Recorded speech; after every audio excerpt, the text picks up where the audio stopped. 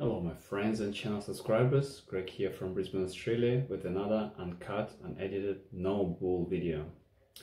Yesterday I recorded this video about um, diet, weight loss and I missed opportunity to talk about one of the most important and most asked questions. What about losing weight and alcohol? Well, there's no good news here.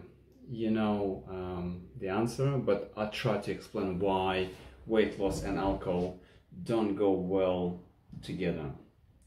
First of all, uh, let's think about alcohol and alcohol on its own as a toxin and getting processed only in liver. But there are two types of alcohols, uh, which is wine, beer, cider, which is non full strength alcohol, and uh, liquors like uh, vodka, brandy, scotch, whiskey. So the biggest difference is uh, one type which is beer, wine, cider. On top of the alcohol content, we have um, a lot of carbohydrates in a way of sugar and other carbohydrates. So not only it will be a toxin, but also it will spike your insulin. And, and when you drink that alcohol, most of what you drink will be stored in the form of fat and also will bring you um, closer to diabetes, which is really, really bad outcome.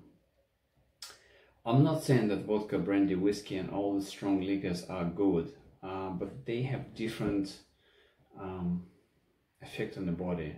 When they come into our, our bodies, they um, getting metabolized in liver. And it's not a good news. Um, they don't spike your insulin because there's no um, sugars. It's all well distilled and, and, and there's no sugar. But liver would stop most of its processes to process the toxin that comes with alcohol. That means that it will shut down processes that are almost vital for life to process toxin that we call alcohol.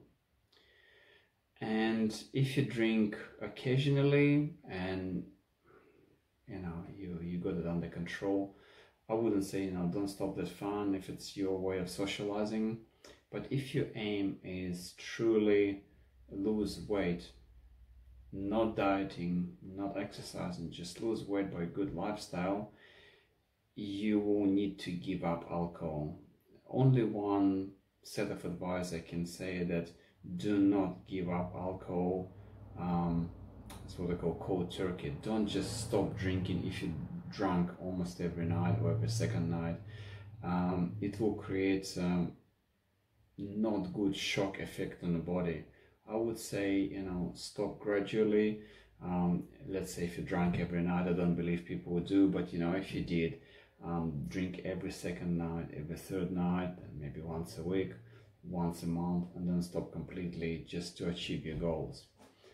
Uh, and you know, take care of your diet because alcohol, on top of um, uh, stopping you losing weight, also depletes your body from nutrients and minerals, which is another what I call double whammy effect on, uh, on, on, on your journey for weight loss. So sorry, I was supposed to include this information in yesterday's video. I just missed out. So here you are. Alcohol has nothing good about uh, you losing weight or actually nothing good about um, lifestyle. Also, when people say, oh, wine is good for you in small quantities. Now, um, uh, there's a ingredients and components of wine are good, but to get those good ingredients, you need to drink a lot of it, which becomes not good. I don't want to go into compounds, but there's nothing good about drinking any alcohol at all. So sorry for bad news, but you know, truth needs to be heard to make your own you know decisions and conclusions. And if health and good weight and happiness um, is what you're after, alcohol shouldn't be part of your uh, daily or even weekly routine. Thank you so much for listening. If you like this video any other videos, please subscribe to the channel, like it, and until next time, Greg from Brisbane, Australia.